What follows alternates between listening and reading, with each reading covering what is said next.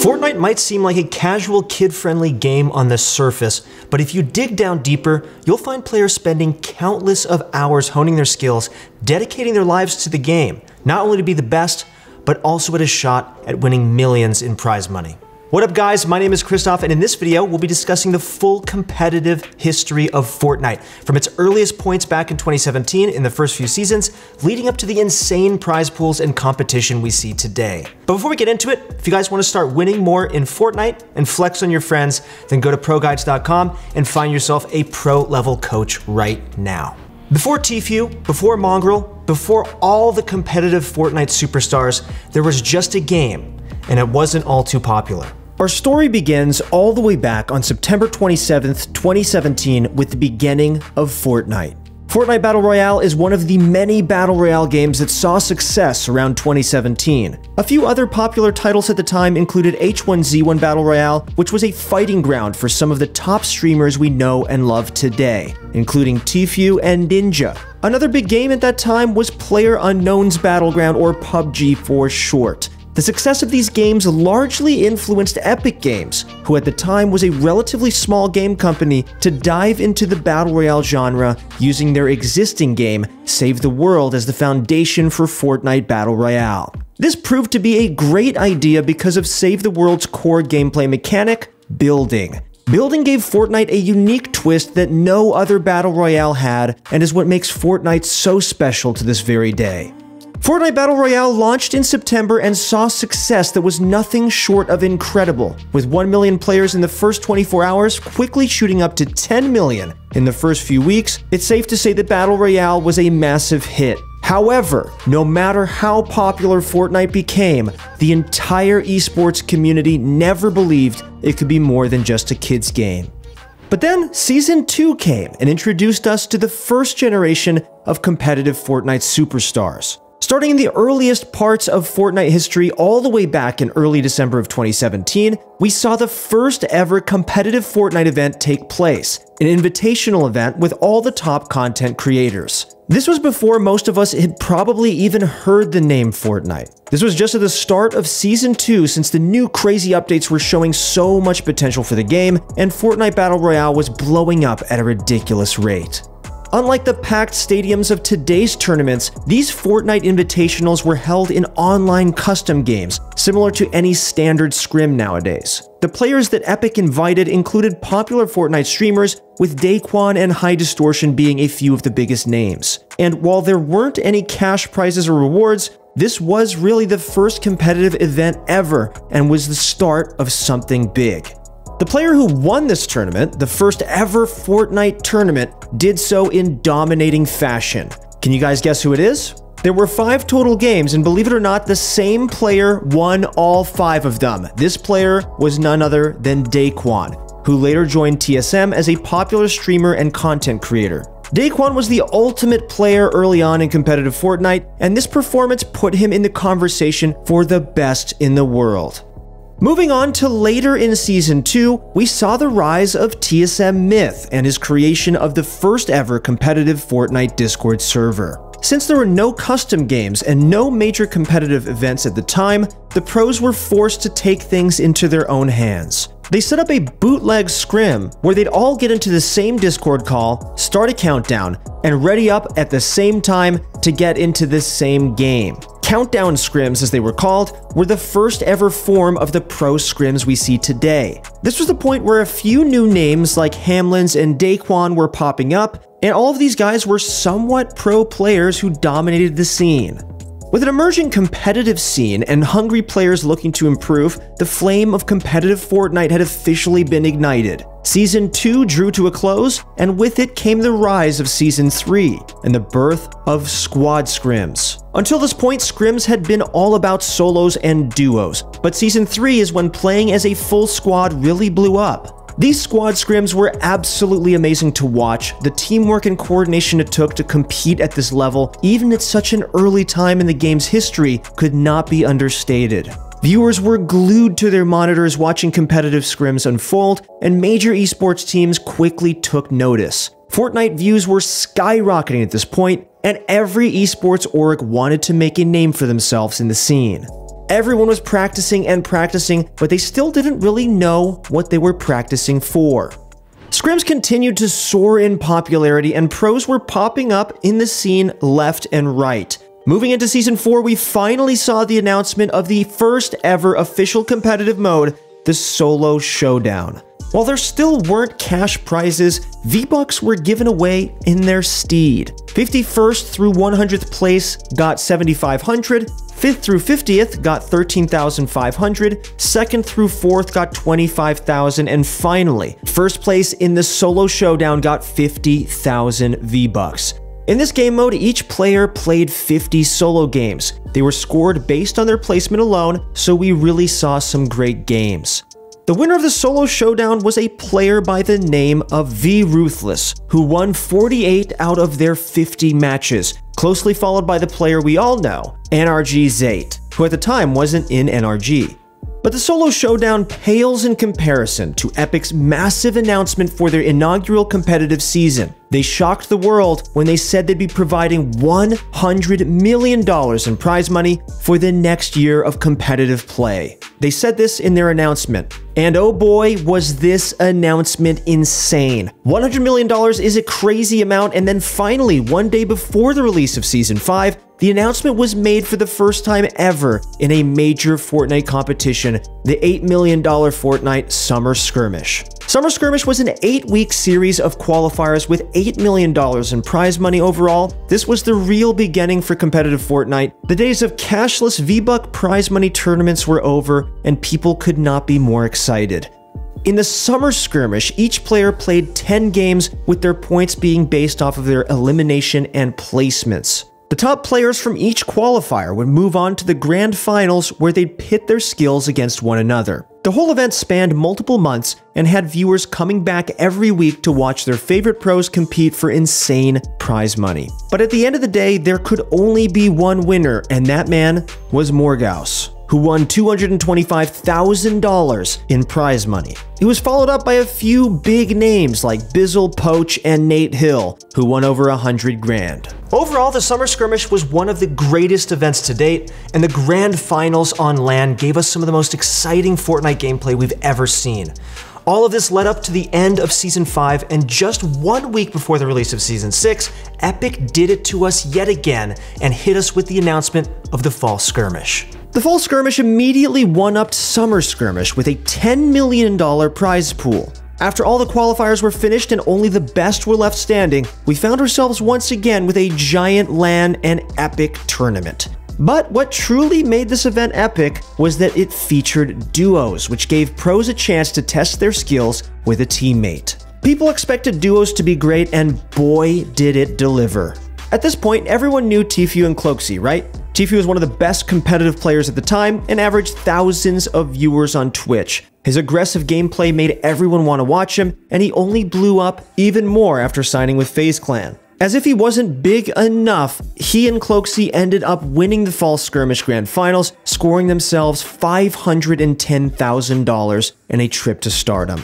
Just take a look at the moment when Tfue and Cloak won the tournament.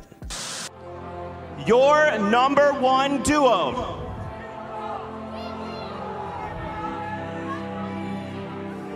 It's Tfue and Cloakzy! You worked six weeks. And you come here, and in front of all your fans, you are the number one duo. How are you guys feeling right now? Dude, I don't, I don't have words. Shout out to all the fans. Shout out to my partner, Tfue. Good stuff, Turner. I'm proud of you. Good stuff, Turner. All right, Tfue, what about you? Cloakzy with the hot carry, dude. Yeah, the hot carry.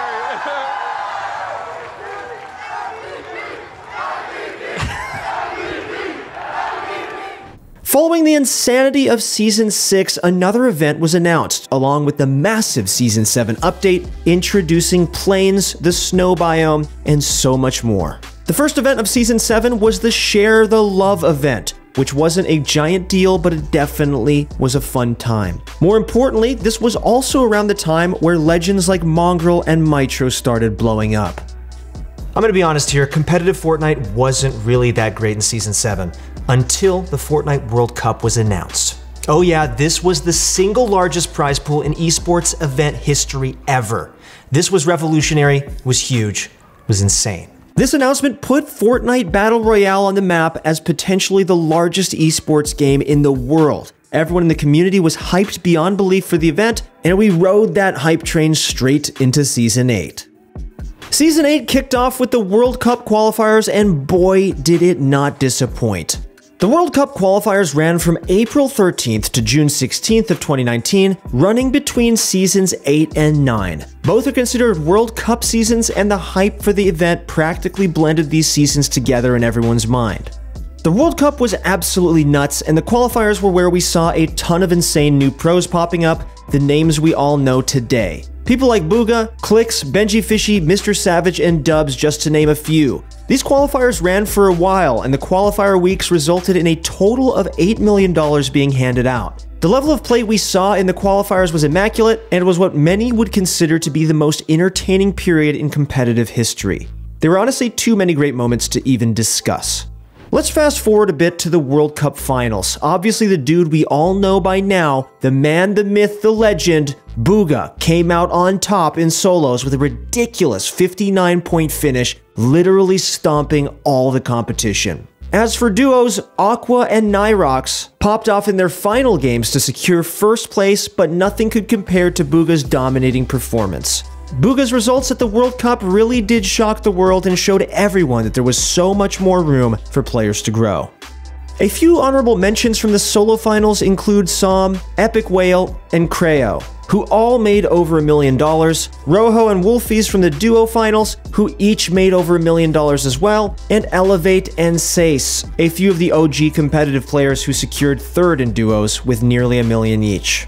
A few of the popular names from the finals include Mongraal and Mitro, who got 6th in duos for $450,000, Mongraal getting 13th in solos for $150,000 as well, and Dubs getting $150,000 in 15th place, Clix getting 18th for $112,000, and Benji and Mr. Savage who each got 30 in solos. As a whole, the World Cup was absolutely amazing and shattered a ton of esports records with 40 million total players, over 2 million concurrent viewers, the highest total prize pool of any esport event ever. And finally, the largest payout for a single player in any esports tournament ever, which went to the man himself, Bugha. The World Cup was a phenomenal event, and we really hope to see something similar in the near future. Moving into Season 10, or Season X as you might call it, there was a ton of controversy surrounding the Brute vehicle. It's not even debatable that thing was ridiculous. This vehicle would wipe a squad in mere seconds without the driver even risking a tick of damage. Think of a giant robot with unlimited rockets shooting 10 at a time, moving faster than any player can, and stopping anything in its path. That was literally the Brute. With this super OP monstrosity still in the game, Epic pivoted by doing what they do best, announcing another tournament. They shook up the competitive scene by revealing the brand new Trios game mode alongside the Trios FNCS with over $10 million in prize money. Trios was a breath of fresh air to the competitive scene and shook up the way players were used to competing. As for the Trios FNCS, teams battled it out over the span of five weeks to reach the semifinals. There, the teams were placed into multiple heats where they battled it out for a spot in the grand finals. The Brute was still in the game for the first few weeks of the tournament, but luckily made its way out of the game before the grand finals rolled along. The grand finals were awesome with some amazing teams coming out on top. Representing the European region with $600,000 to share, we had Chinkin, Stompy, and Aqua, who joined up as a trio soon after World Cup came to a close. For NA East, we had Zexro, Macwood, and the absolute legend himself, Young Calculator. Who doesn't love a young calculator? This insane trio got to split $340,000 amongst themselves.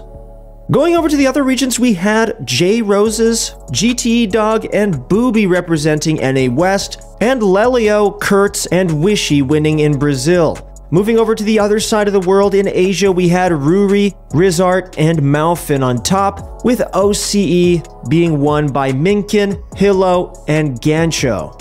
Finally, in the brand new region of the Middle East, the champs were all from Team Power, being FHD, Yonks, and NM7. Season 10 was a pretty good season in terms of competition, but there was still a ton of flaws, and Epic showed a severe lack of community understanding.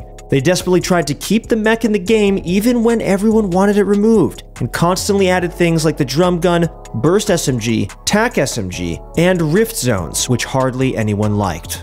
Overall, while Season 10 wasn't the greatest season in terms of actual gameplay, the competitive scene was pretty cool. Moving on from Season 10, we stared into a black hole for 36 hours. I know all of you remember that. And finally received one of the most controversial updates in the history of the game.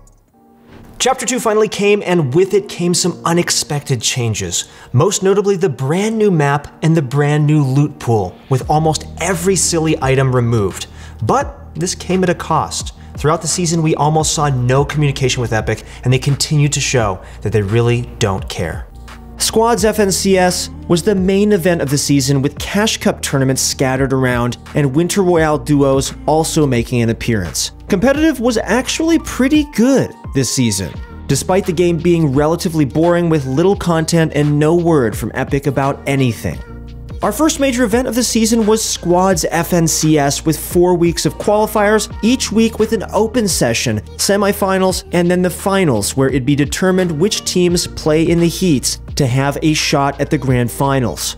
We won't name every single team who won the season, but a few of the big names were Unknown Squad of Avery, Ronaldo, Vanguard Kez, and himself on NA East, Wacky Squad on Europe and the X2 Twins squad on OCE. But there were still a ton of great squads that didn't quite win the whole thing. One cool surprise was Ninja making a comeback in competitive Fortnite with the squad of FaZe Funk, Reverse 2K, and Nate Hill all being by his side. They managed to pull off a 7th place finish in the grand finals, shocking a lot of people and begging the question, is Ninja back in competitive? I guess we'll have to see how he performs in the future, but he's definitely looking good.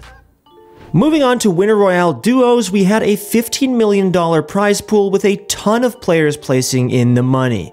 However, we also had the cheating controversy where teams were able to get into zero point lobbies the whole time and basically just pub stomp, putting them high up on the leaderboards. This basically ruined Winter Royale in the eyes of most of us and really just messed up the tournament as a whole. Most of the top pros didn't perform here due to the cheating issues, and the whole tournament was a bit of a mess. Regardless, stuff happens, but I'm sure we'll see Epic making some changes to avoid this in the future.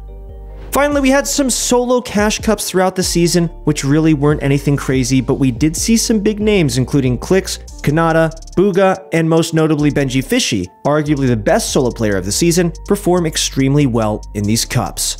Overall, Chapter 2 thus far has been very good in terms of competitive play. If Epic can fix the cheating issues and continue to push out high quality tournaments that people enjoy, we can definitely expect competitive Fortnite to continue rising and make a name for itself as one of the best esports in the world.